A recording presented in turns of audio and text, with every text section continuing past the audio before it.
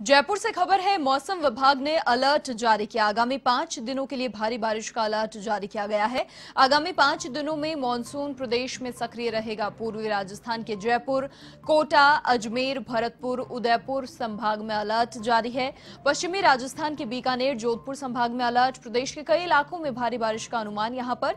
दस और ग्यारह अगस्त को पूर्वी राजस्थान में ऑरेंज अलर्ट जारी किया है। प्रदेश के कई इलाकों में भारी बारिश का अनुमान जताया गया है।